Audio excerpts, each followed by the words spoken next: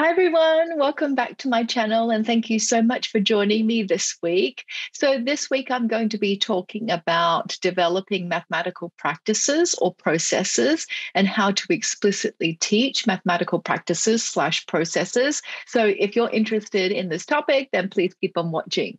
Okay, so today I'm going to be talking about how do we explicitly teach the strategies and skills that make up a mathematical practice or process. And in my research for my book, which is just here, concept based mathematics, I actually looked at different systems around the world. I looked at uh, the Common Core state standards, I looked at the Texas uh, standards as well, the IB standards, the Australian national standards, the Hong Kong standards, the International Baccalaureate standards. And what these standards all had in common in terms of the processes and practices in mathematics were these big six and I'm just going to put a diagram here that outlines the six. So I distilled all of the practices from around the world and found that these six processes were what was common in all systems uh, in terms of uh, learning mathematics and looking at procedures and fluency. So you can see that we have problem solving, and I'm just going to have a look at uh, all the other ones making connections, reasoning proof, inquiring or investigating, uh, communicating, and creating representations. And so we have smaller strategies and skills that actually make up each of these processes that we want to explicitly teach to our students.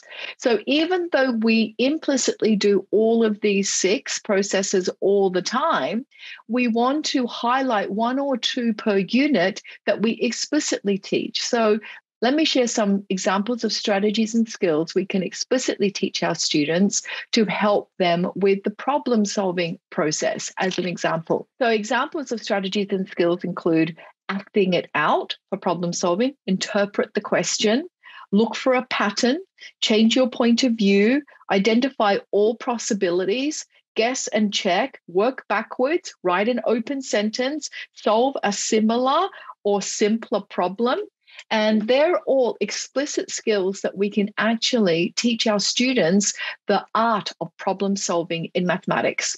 Now, if I was to look at reasoning and proof, let me just share with you from my book on page 37 what are some of the strategies and skills that we can explicitly teach to our students to help them with the process of reasoning and proof. We can use data to make a conjecture.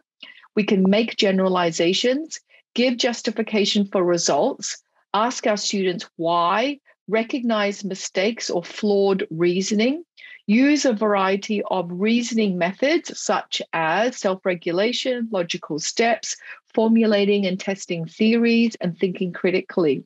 So, we want to be able to explicitly teach reasoning and proof, as well as all of the other processes communicating, making connections, creating representations, and investigating or inquiring.